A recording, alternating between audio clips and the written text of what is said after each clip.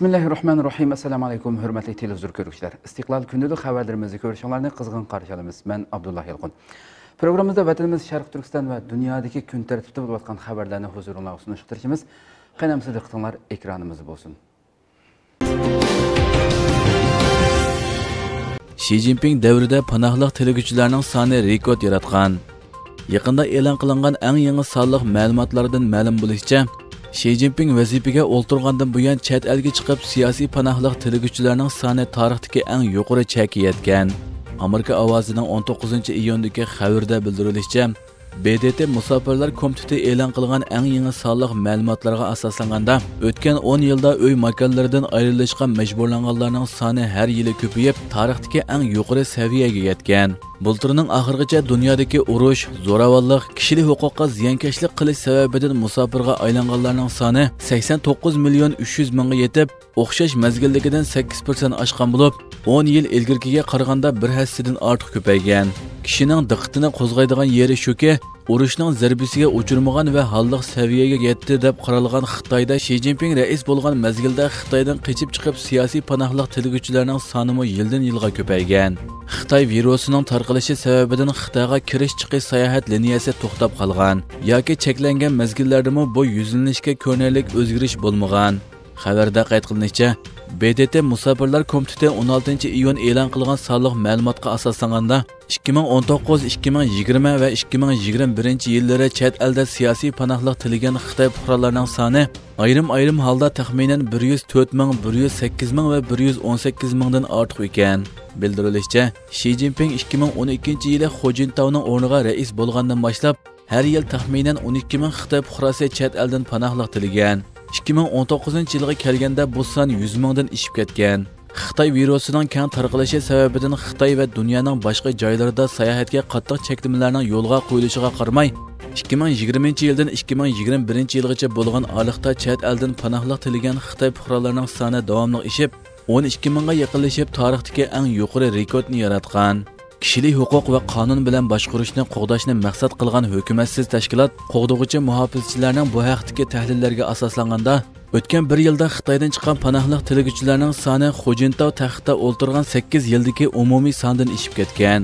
Ma'lum bo'lishicha 2012 yildan buyon xitoydan qochib chiqqan siyosiy panohlik tilagan kishilarning umumiy soni 730 mingga yetgan. Undan boshqa yana 170 mingdan ortiq kishi xitoy sirtidan musofir bo'lib yashamoqda ekan.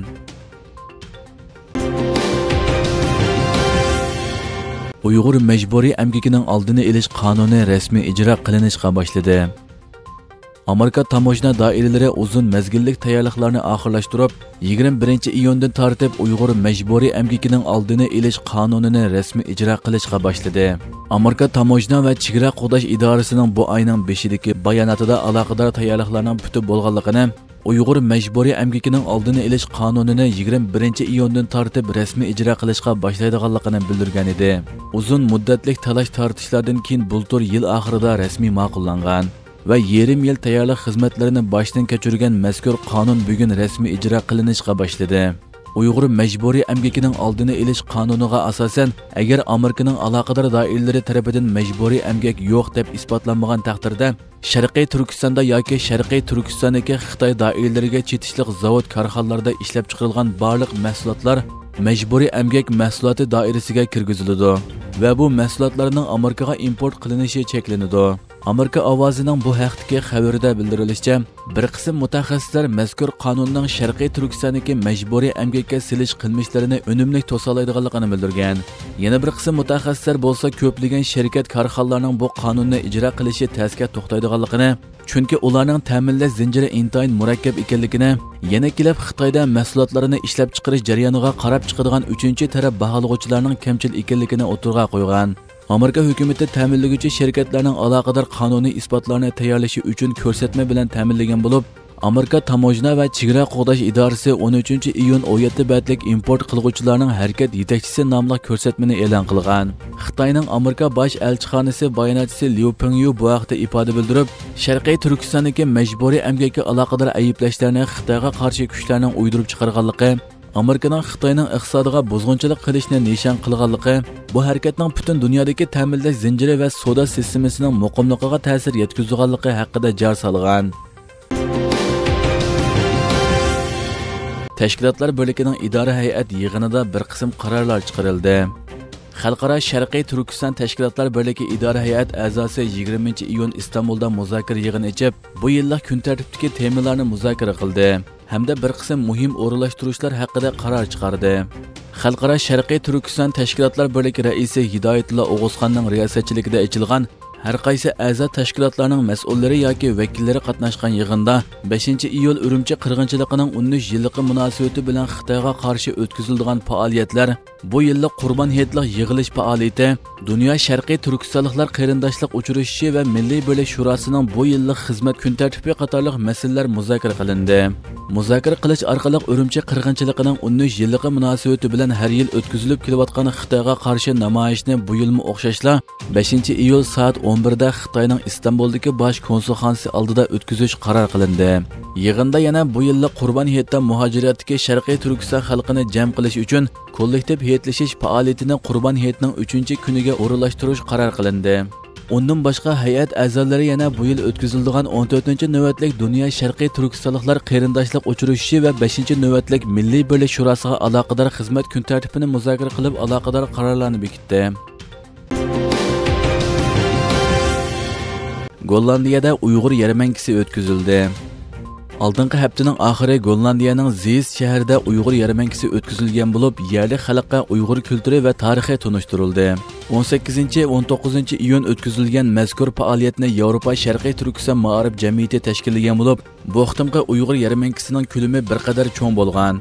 Fəaliyyətin içiliş murasımığa Ziz şəhərinin şəhər başqı Kos Yansın əpəndi ayalı bilən billə iştirak qılğandan başqa, bir qism ictimai təşkilatlarının rəhbərləri iştirak qılğan. Fəaliyyətə yenə cəza lageri şahidlərindən Qalbinur Sidiq, Gülbahar Celilova və Ömər Bakali qataraqlar iştirak qılğan olub, bu fürsətdən faydalanıb şəhər əməldarlarına Xitayının Şərqi Türkistanda icra qılıbatqan irqi qırğınçılıq cinayətini tunuşturğan. Bu xitimliq yarmankəyə türlük Uyğur taamları və tatlıq turumlar qoyulğandan başqa Uyğurlarning milliy kimligining belgisi bo'lgan har xil kiyim-kechaklar, do'ppilar va shundoqla Uyg'urcha kitoblar qo'yilgan. Yermankiga Gollandiyaning har qaysi joylaridan kelgan Uyg'urlar, Gollandiyaliklar, turklar, shundoqla Germaniya va Belgiyadan kelgan Uyg'urlarmi ishtirok qilgan. Gollandiyadagi Uyg'ur yarmankisi Yevropa Sharqiy Turkiston Ma'arif jamiyatining boshchiligida 2014-yili 4-oyda Uyg'ur yemak-ichmak yarmankisi nomida boshlangan bo'lib, shuningdan beri har yili 2 qitim izchil o'tkazilib kelgan. Biroq orliqda Xitoy virusi sababli vaqtliq to'xtab qolgan. Bildirilishicha, Yarmankining maqsadi Uyg'ur madaniyatini yerli xalqlarga tunishtirish orqali Uyg'urlarning o'ziga xos madaniyatga ega va Xitoydan farqli bir millat ekanligini namoyon qilish hamda Uyg'urlarga o'z milliy kimligi va kulturini asiltish orqali ularning chet elda assimilyatsiya bo'lib ketishining oldini olish ekan. Xitoy paraxodlarining Yaponiya dengiz tavalligiga kirganligi bildirildi. Xitoy dengiz qirg'og'i muhofizat atriti paraxodlari Sharqiy dengizdagi talash tortishliq Senkaku oroli atrofidagi Yaponiya dengiz tavalligiga kirdi.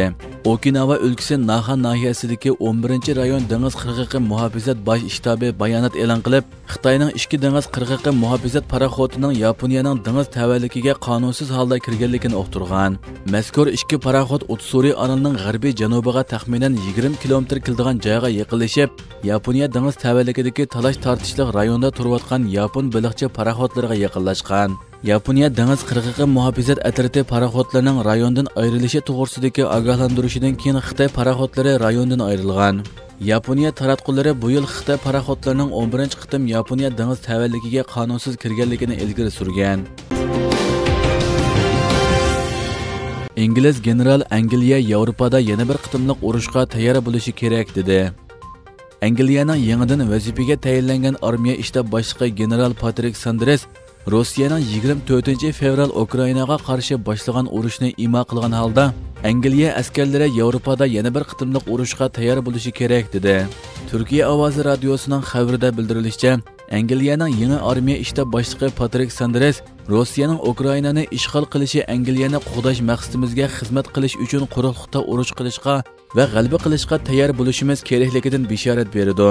ittifoqdoshlarimizni qo'llab urush qilalaydigan va rossiyani yengalaydigan armiya qurish vazifamiz bor degan u 1941 yildan buyon yevropada dunyo xarakterli kuchni o'z ichiga olgan quruqliq urushining ko'langisida armiyaning qo'mondonlik vazifasini ustiga olganligini eskartib biz armiyani yana bir qitim yevropada urushga tayyorlashi kerak bo'lgan avlodlarmiz degan Angliya bosh vaziri Boris Johnson Ukraina ziyoratida Ukraina prezidenti Vladimir Zelenskiy bilan ko'rishgandan keyin e'lon qilgan bayonotda Putinning ishg'oliyati yangi bosqichga qadam qo'ydi degan edi.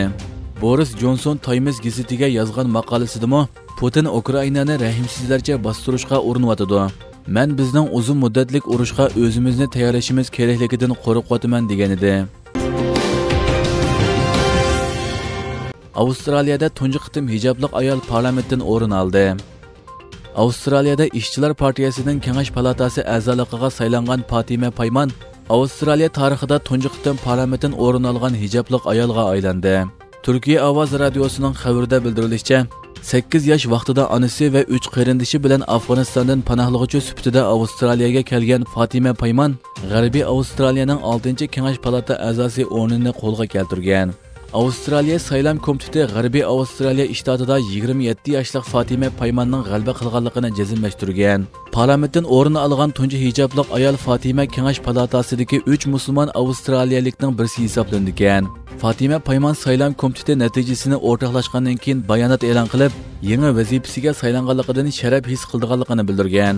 Avstraliya bosh ministri Antoni Albanis va muavin bosh ministri Patrik Gurman Twitterda Fatima Paymanni tabriklagan.